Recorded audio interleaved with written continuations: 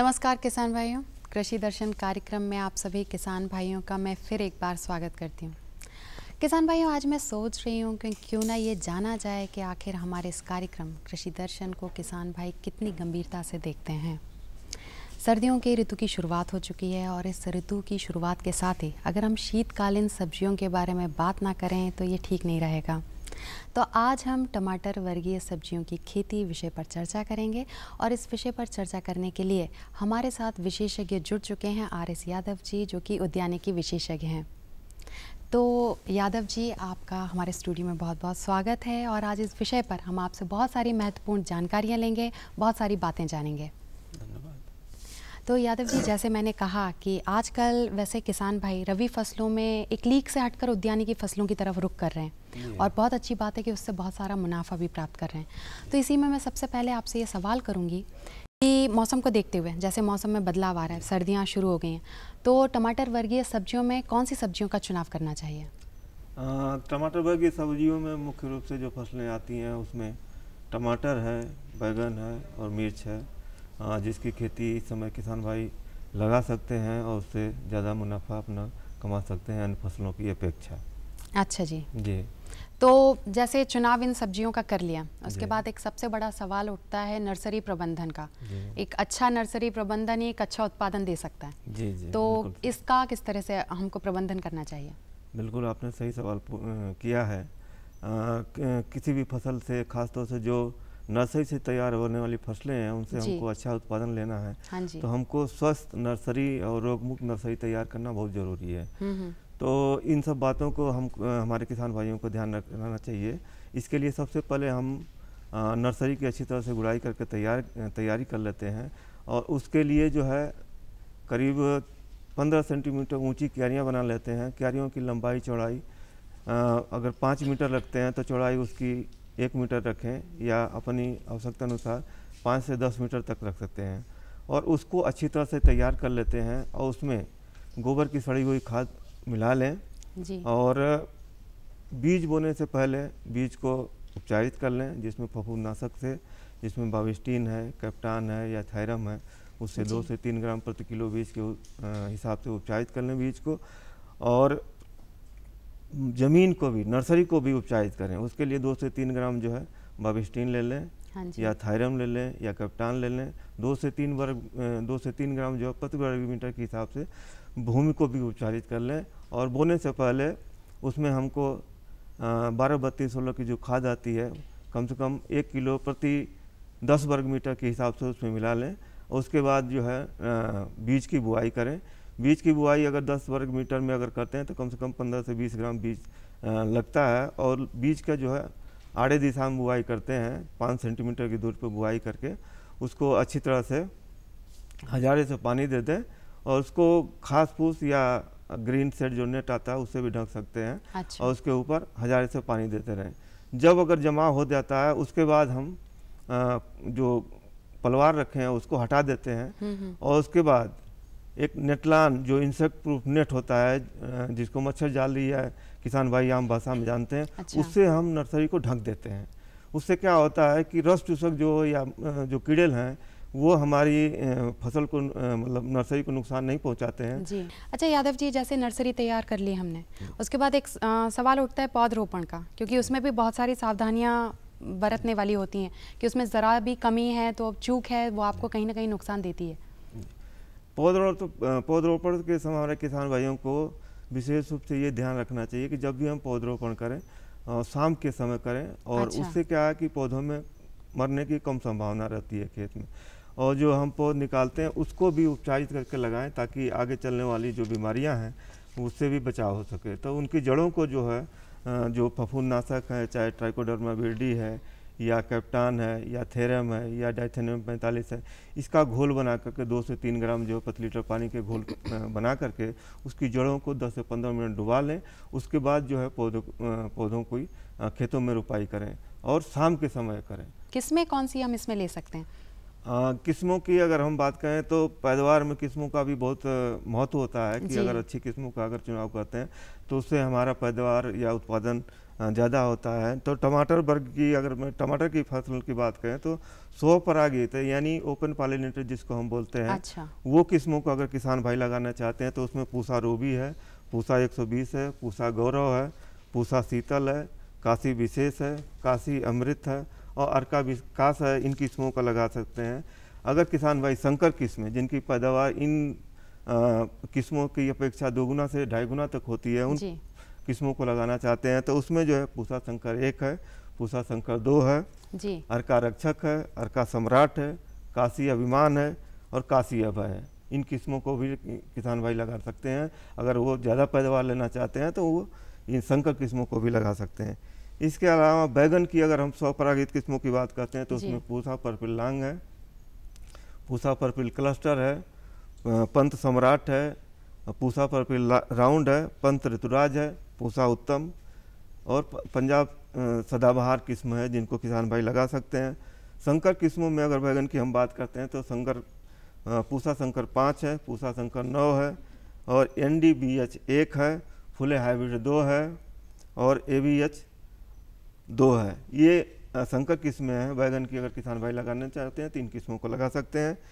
मिर्च की अगर हम बात करते हैं तो मिर्च की किस्मों में सौ परागित किस्में जो हैं, उसमें पूसा ज्वाला है पूसा सदाबहार है इसके अलावा पंत सीवन है पंजाब लाल है जवाहर 218 है काशी अनमोल है काशी गौरव किस्में हैं जो सौ परागित किस्में इनको लगा सकते हैं जी। अगर संकर किस्में लगाना चाहते हैं तो उसमें काशी अर्का मेघना अर्का हरिता काशी सुर्ख और काशी अगेती जो किस्में हैं जो शंकर किस्में हैं हम्म, इनके। अलावा आजकल जो है कुछ निजी संस्थाओं द्वारा भी अच्छी किस्में विकसित की गई हैं। शंकर किस्में हैं वो काफ़ी प्रचलित किस्में भी हैं तो उनको भी किसान भाई अपनी आवश्यकता अनुसार लगा सकते हैं। तो यादव जी इतनी महत्वपूर्ण जानकारियों के लिए आपका बहुत बहुत धन्यवाद।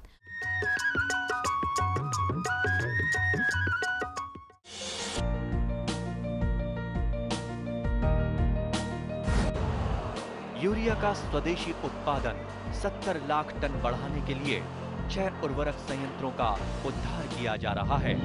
एफ़ के गोरखपुर, सिंदरी, तलचर और रामागुंडम संयंत्र एच की बरौनी इकाई और बीवीएफसीएल की नामरू फोर्थ। सोने पर सुहागा ये है कि देश में अब बनेगा सिर्फ़ नीम लेपित यूरिया, क्योंकि इससे होगा किसानों का फ़ायदा ही फ़ायदा।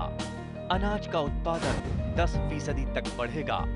बढ़ेगी 10 से 15 फ़ीसदी नाइट्रोजन क्षमता।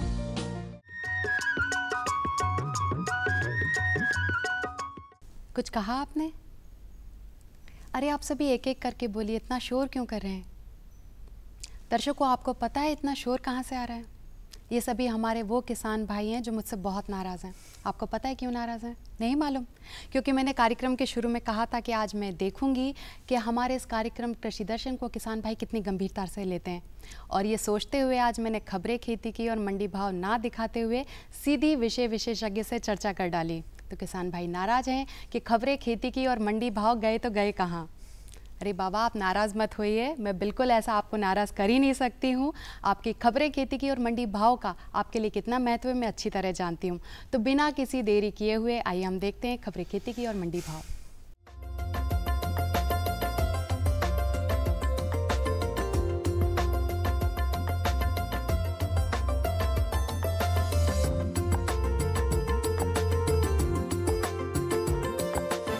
नमस्कार किसान भाइयों, खबरें खेती के में आपका स्वागत है। सबसे पहले नज़र डालते हैं खास खबरों पर।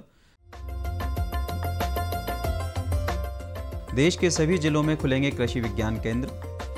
सभी मंडी में ई अनुज्ञा लागू होगी। मूंग खरीदी के लिए 50 केंद्र खुले। मुनाफेदार गांठ गोभी लगाएँ। चना उत्पादन का तरीका। केंद्र सरकार ने देश भर के सभी जिलों में कम से कम एक कृषि विज्ञान केंद्र खोलने का ऐलान किया है, जिससे किसानों को उनके खेत के पास ही उन्नत कृषि के लिए तकनीकी सहायता उपलब्ध हो सके। इसके साथ ही केंद्रीय कृषि एवं किसान कल्याण मंत्री श्री राधा मोहन सिंह ने दस राज्यों में मधुमक्खी विकास केंद्र खोलने का ऐलान भी किया। श्री सिंह ने सभी केवी के एवं जिला कृषि अधिकारियों को निर्देश दिए हैं कि किसानों का ज्ञानवर्धन कर पुआल का समुचित उपयोग करने की विधि बताकर पुआल का सदुपयोग कराएँ। श्री राधा मोहन सिंह ने यह बात नई दिल्ली में बारह राज्यों के सभी कृषि वैज्ञानिक केंद्र के विशेषज्ञों और कृषि विकास से संबंधित जिला स्तरीय अधिकारियों और प्रगतिशील किसानों को वीडियो कॉन्फ्रेंसिंग में कही।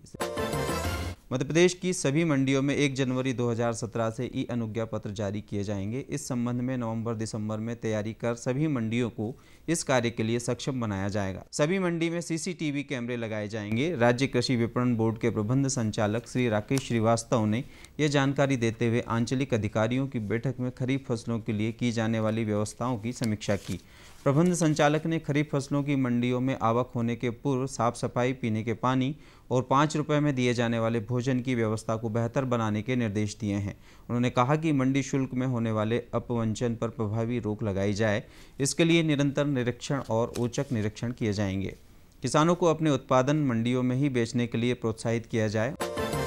मध्य प्रदेश शासन ने किसानों को दलहन फ़सलों, विशेषकर मूंग उत्पादन का वाजिब मूल्य दिलवाने के लिए 50 खरीदी केंद्र स्थापित किए हैं। इन केंद्रों में समर्थन मूल्य पाँच रुपये क्विंटल पर अभी तक चौदह हज़ार पाँच सौ मीट्रिक टन से अधिक मूंग की खरीदी की जा चुकी है। मॉडल रेट छियालीस सौ अड़तालीस सौ रुपये क्विंटल चल रहा है। ये जानकारी समर्थन मूल्य पर मूंग खरीदी की बैठक में कृषि अधिकारियों ने दी। मूंग उत्पादन क्षेत्र में समर्थन मूल्य पर खरीदी के लिए भारतीय खाद्य निगम ने प्रदेश में टिमरनी, हरदा, खिरकिया, बानापुरा, इटारसी, गोटेगांव, कोलारस, टीकमगढ़, गाडरवाड़ा, नागौद, दतिया, उदयपुरा, इंदौर, सतना और श्योपुर में खरीदी केंद्र स्थापित किए हैं। मुनाफेदार गांठ गोभी लगाएँ। सब्ज़ी का उत्पादन किसान भाइयों को निरंतर आमदनी देने वाला होता है। गांठ गोभी अगस्त से नवंबर तक लगाई जाने वाली सब्ज़ी है। इसे लगाने वाले किसान वैज्ञानिकों की बताई तकनीक पर अमल करेंगे तो उपज ज़्यादा मिलेगी।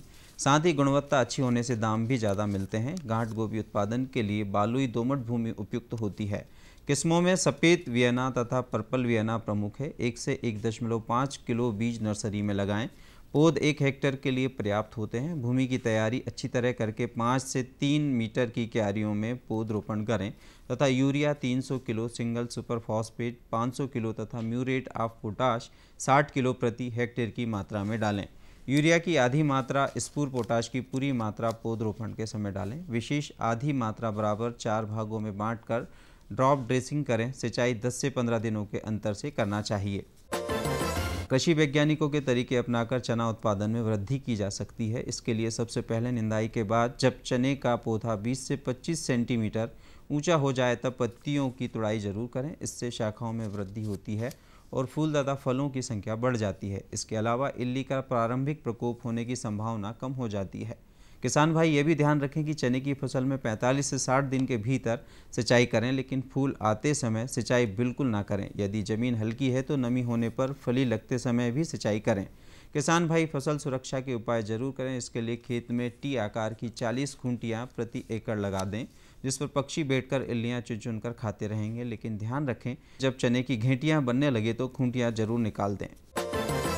तो किसान भाइयों, खबरें खेती की में बस आज इतना ही। आप देखिए मंडी भाव और मुझे दीजिए आज्ञा। नमस्कार।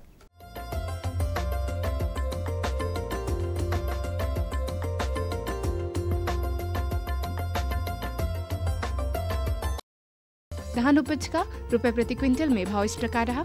बरेली में न्यूनतम एक हज़ार पाँच सौ छिहत्तर रुपये वहीं अधिकतम दो हज़ार इकतालीस रुपये इटारसी में न्यूनतम एक हज़ार चार सौ सत्तर रुपये वहीं अधिकतम दो हज़ार पाँच सौ पैंतालीस रुपये विदिशा में न्यूनतम एक हज़ार चार सौ सत्तर रुपये और अधिकतम दो हज़ार रुपये उदयपुरा में न्यूनतम एक हज़ार आठ सौ अस्सी रुपये और अधिकतम दो हज़ार सत्तर रुपये अब बात करेंगे गेहूँ उपज की। गेहूँ उपज के रुपए प्रति क्विंटल में भाव इस प्रकार है। अजयगढ़ में न्यूनतम एक हज़ार छह सौ नब्बे रुपये वहीं अधिकतम एक हज़ार सात सौ दस रुपये बैतूल में न्यूनतम एक हज़ार आठ सौ अस्सी रुपये वहीं अधिकतम दो हज़ार पचहत्तर रुपये बीना में न्यूनतम एक हज़ार सात सौ रुपये वहीं अधिकतम दो हज़ार चार सौ रुपये छतरपुर में एक हज़ार आठ सौ अड़तालीस रुपये न्यूनतम, वहीं अधिकतम एक हज़ार आठ सौ छप्पन रुपये सरसों उपज के रुपए प्रति क्विंटल में भाव इस प्रकार रहे। सतना में न्यूनतम तीन हज़ार तीन सौ रुपये और अधिकतम तीन हज़ार आठ सौ सत्तर रुपये सागर में न्यूनतम तीन हज़ार चार सौ रुपये वहीं अधिकतम तीन हज़ार पाँच सौ पचास रुपये मुरैना में न्यूनतम तीन हज़ार आठ सौ पचहत्तर रुपये और अधिकतम चार हज़ार चालीस रुपये लश्कर में न्यूनतम तीन हज़ार नौ सौ पचास रुपये वहीं अधिकतम चार हज़ार साठ रुपये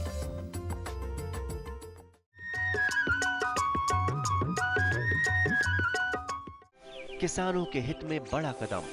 प्रधानमंत्री कृषि सिंचाई योजना। हर खेत को पानी प्रति बूंद अधिक उपज। सिंचाई के सही तरीकों और जल संरक्षण की नई तकनीकों के साथ बढ़ेगा ज़मीन का जल स्तर जिला स्तर पर होंगी सिंचाई योजनाएँ। असिंचित क्षेत्रों तक पानी पहुंचाकर बढ़ेगा उत्पादन। भारत सरकार की विशाल योजना, प्रधानमंत्री कृषि सिंचाई योजना। क्या है फ़सलों का ताज़ा हाल? कैसे हो इनकी सही देखभाल? बीज और खाद की कैसे हो सही पहचान? जानिए विशेषज्ञों के साथ। देखिए खेत खलिहान सोमवार से शुक्रवार सुबह सात बजे। डीडी किसान बदलते भारत की शान।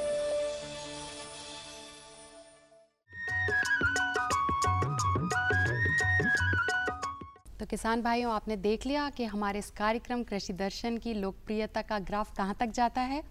अब ऐसी गलती दोबारा नहीं करूँगी। तौबा तौबा। चलो, अब सब कुछ ठीक हो गया। किसान भाइयों आप रबी फ़सलों की शुरुआत के साथ। अगर हम गेहूँ उत्पादन तकनीक के बारे में बात ना करें तो ये भी ठीक नहीं रहेगा। आज इसी विषय पर हमको बहुत ही महत्वपूर्ण जानकारी देंगे कृषि विज्ञान केंद्र पवार खेड़ा के डॉक्टर संजीव वर्मा जी। सबसे पहली बात यहाँ पर आती है कि हम गेहूँ में किन बातों का ध्यान रखें कि अधिक से अधिक उत्पादन हमको रबी के मौसम में गेहूँ से प्राप्त हो सके। जिसमें सबसे पहली बात आती है उन्नत किस्मों का चयन। किसान भाई, इस बात का विशेष ध्यान रखें कि आपके जो पुराने बीज रखे हुए हैं, उनका अंकुरन प्रतिशत देख लें कि उनमें कितने प्रतिशत अंकुरन आ रहा है, उसी के आधार पर किस्मों का चयन करें।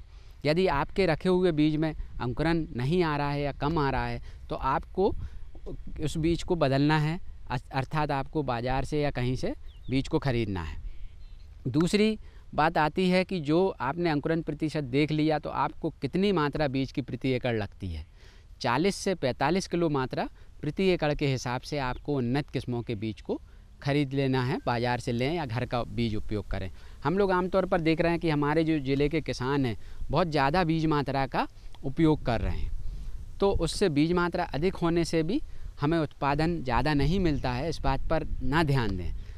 बीज मात्रा जो संस्तुत है रिकमेंडेड है आप उसी प्रैक्टिस को आपको अपनाना है। तो मैंने जो बताया, चालीस से पैंता चालीस किलो सिंचित और पूर्ण सिंचित में 45 किलो बीज की उन्नत किस्में जो पूर्ण सिंचित किस्मों की 45 किलो बीज मात्रा आप उपयोग प्रति हेक्टे एकड़ के मात्रा से आप कर सकते हैं। इन बीजों को अंकुरित करके देख लें जहाँ, जिससे आदान खरीदे हैं। इसके बाद उनको बीज उपचार करना अति आवश्यक है। बीज उपचार के लिए सीड ट्रीटिंग ड्रम या बीज उपचारित ड्रम मिलते हैं बाज़ार में, उनसे उपचारित करें। कई उन्नत खेती के तरीके आ गए हैं। आज ऐसे तरीके हैं कि 12 किलो बीज मात्रा में आपको प्रति हेक्टेयर में आप उपयोग कर सकते हैं, जिसमें सघनीकरण पद्धतियाँ करी जा रही हैं। सघनीकरण पद्धति गेहूँ की यदि करी जाती है, जिसको डिबलिंग से बुआई करी जाती है 20 बाई 20 सेंटीमीटर या 22 बाई 22 सेंटीमीटर पे तो उसमें आपका जो बीज मात्रा है, मात्र 12 से 15 किलो प्रति हेक्टेयर लगती है। बीज मात्रा मगर इसमें जो कंसे फूटते हैं या टिलर्स फूटते हैं वो लगभग तीस तीस पैंतीस पैंतीस कंसे प्रति पौधे के मान से फूटते हैं। तो आपको इस बात पर ध्यान देना है कि हमें बीज मात्रा पर विशेष कंसंट्रेशन या महत्व देना है ताकि आपका जो आ, तरीका है बुआई का वो बदल जाए आपकी उत्पादन लागत कम हो जाए। यदि आप एक कुंटल बीज मात्रा लगाते हैं तो आपका यदि वहीं चालीस किलो बीज लगता है तो साठ किलो बीज आपकी बचत प्रति एकड़ होती है। साथ में आप खाद मात्रा का भी अंतर आ जाता है। हम आमतौर पर किसान भाई खादों को बीज में मिला करके बुआई का कार्य करते हैं। ये विधि हमको बिल्कुल नहीं अपनाना है। जो भी एन की मात्रा है गेहूँ में आपको लगभग 120 किलोग्राम नाइट्रोजन 60 किलोग्राम स्पुर और 40 से 45 किलोग्राम पोटैश की मात्रा लगती है। जिंक सल्फेट तीन साल में एक बार हमको देना है 25 किलोग्राम प्रति हेक्टेयर। ये प्रति हेक्टेयर मात्रा जो आपको खादों की बताई है, ये आप अलग अलग खादों से पूर्ति कर सकते हैं या मिश्रित खादों से आप इसकी पूर्ति कर सकते हैं। तो पहले हम बता रहे थे आपको बीज उपचार। तो आपको मैनकोजैब और कार्बनडाजिम नामक जो दवाइयों से अच्छे से बीजों को उपचारित कर लेना है, डेढ़ डेढ़ ग्राम मात्रा इनकी लेकर के बीजों को अच्छे से उपचारित करके सीड टीटिंग ड्रम जो बताया था उसमें लगभग पचास चक्कर एक बार आपको बीज डाल के घुमाना है, ताकि बीज पे अच्छे से लेपन हो जाए। इसके बाद आपको बीजों को पीएसबी कल्चर जो आता है किसान भाई। तो पीएसबी कल्चर का इसलिए हम लोग उपयोग करते हैं गेहूँ में कि उत्पादन में वृद्धि हो। हम लोग देख रहे हैं कि लगातार खेत में मिट्टी आपकी कड़ी हो रही है। हम अत्यधिक उर्वरकों का उपयोग तो कर रहे हैं, मगर वो उपलब्ध मात्रा, उप, अवस्था में नहीं रहते हैं। इसलिए पीएसबी फास्फोरस सॉल्युबलाइजिंग कल्चर का उपयोग करना है, जिससे आपको वो उपलब्ध अवस्था में रहें। ताकि जो है आपका जो फास्फोरस सॉल्युबलाइजिंग कल्चर जो है पौधों की जड़ों में रहता है, इसका जो बैक्टीरिया है और ये पौधों के आसपास जो मिट्टी में पोषक तत्व पड़े हुए हैं, वो उपलब्ध कराने में मदद करता है। तो आपको इसको पहले आपको बीज उपचार दवाई का उपयोग करना है, बाद में कल्चर का उपयोग करना है। अब बात आती है बुआई की तो बुआई की बीज मात्रा मैंने बता दी। उन्नत किस्में और आप नोट कर लें अपने क्षेत्रों के लिए। संचित किस्मों में एच आई पंद्रह सौ चवालीस किस्म, बहुत अच्छी किस्म है। जी डब्ल्यू तीन सौ बाईस एम पी ओ बारह पंद्रह एम पी बारह सौ तीन एम पी बारह सौ एक, बारह सौ दो, ये किस्में हैं। बहुत अच्छी किस्में और नई किस्में इस वर्ष और हमारे अनुसंधान केंद्रों से निकली हैं। वो हैं एम पी तैंतीस बयासी एम पी तैंतीस छत्तीस। ये उन्नत और नई किस्में हैं, अधिक उत्पादन देने वाली सिंचित किस्मों में हैं। तो इन किस्मों को भी हमारे किसान भाई उपयोग कर सकते हैं। तैंतीस बयासी जो किस्म है लगभग साठ कुंटल तक उत्पादन देती है। ये जो किस्में मैंने बताई हैं, ये सिंचित किस्में लगभग 20 से 25 120 से 125 दिन में पक्के तैयार होती हैं। आप पे पानी की उपलब्धता के अनुसार किस्मों का चयन करें। यदि आप पे पानी कम उपलब्ध हैं तो कम सिंचाई वाली किस्में, कम अवधि वाली किस्में, जिसमें एच आई पंद्रह चवालीस जो किस्म है लगभग 110 से 115 दिन में पक के तैयार हो जाती है, इस किस्म को उपयोग करें। इसमें प्रोटीन प्रतिशत भी ज़्यादा है। एम पी जो किस्म है, इसमें भी प्रोटीन प्रतिशत, तेरह प्रतिशत तक प्रोटीन है, पाया जाता है। खाने में भी ये अनाज बहुत अच्छा है। इसको भी आप लोग बुआई के लिए उपयोग कर सकते हैं। और देर से बोई जाने वाली किस्में 1203 1202 किस्म जो देर से बुआई वाली किस्म है गेहूँ में, यदि आप दिसंबर माह में भी बुआई करते हैं तो 1202 किस्म को, एम पी बारह किस्म की बुआई कर सकते हैं। जी एल सात सौ अट्ठासी जो किस्म है, वो भी देर से बुआई वाली किस्म में है। तो आप इस समय खेतों की तैयारी अच्छे से कर लें। खर, आपके जो उर्वरक आपने लाए हैं, बुआई के पूर्व आपको उर्वरकों को खेतों में डालना है, ना कि बीजों के साथ मिला के नहीं डालना, इस बात का विशेष ध्यान रखना है। तो बुआई के समय की सावधानियाँ, उन्नत किस्मों का चयन और आपके बीज उपचार कल्चर का उपयोग, यही जो प्रमुख बातें हैं, जो गेहूँ उत्पादन की आधारशिला रखती हैं। ये बदलाव क्या है? बदलाव से हुआ क्या है? भैया, ये बड़े काम की चीज़ है। जब जब बदलाव आया है, अपने संग खुशहाली लाया है। इंसान की सोच में अगर बदलाव आ जाए तो सब कुछ मुमकिन है, सब कुछ संभव है। अब यह बदलाव फिर आ रहा है। और इस बार ये देश के हर हिस्से की सूरत को बदल के रहेगा। हर सूरत की मुस्कान में वो आपको दिखाई देगा, क्योंकि जब जब बदलाव आया है, वो अपने साथ खुशहाली लाया है।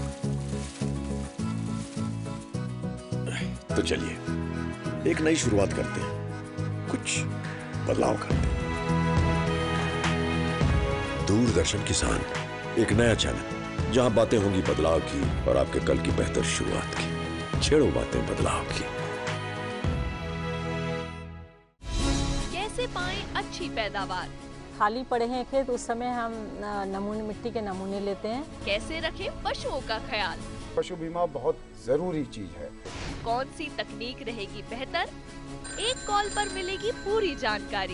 ये साहिवाल गाय कितना दूध दे देती है? देखिए हेलो किसान। सोमवार से शुक्रवार शाम छह बजे। डीडी किसान बदलते भारत की शान। मुद्दा किसान का। भारत में मौसम और मानसून मिलकर किसानों की तकदीर लिखते हैं। विषय संवाद का। नहीं है उसकी इतनी। मंथन विचारों का। किसी को खाता खोलने से मना नहीं किया जाता। देखिए वाद संवाद सोमवार से बुधवार शाम सात बजकर तीस मिनट पर। डीडी किसान बदलते भारत की शान।